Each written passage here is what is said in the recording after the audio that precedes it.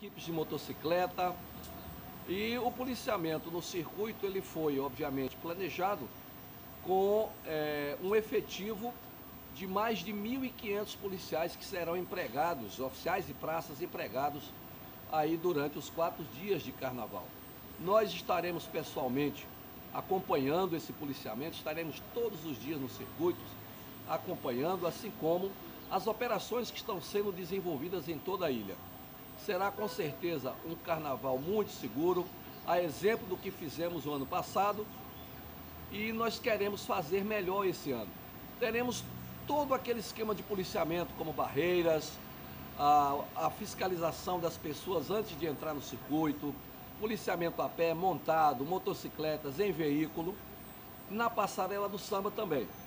Então todo esse aparato visa trazer tranquilidade para o cidadão, mas também queremos fazer um alerta. Não haverá lugar no circuito ou em qualquer lugar do carnaval para pessoas que queiram infringir a lei. Então, por exemplo, elementos portando objetos ou substâncias ilegais serão presos.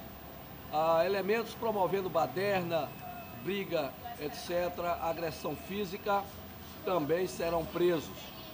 Ah, recomendamos que as pessoas não vá para o circuito é, portando garrafas de vidro, uísque ou outro tipo de bebida em garrafa de vidro. Procure colocar essa bebida numa garrafa plástica, porque não irá passar pela barreira, você vai perder o seu produto. Ou então você vai ter que voltar com ele e consumir ele fora do circuito.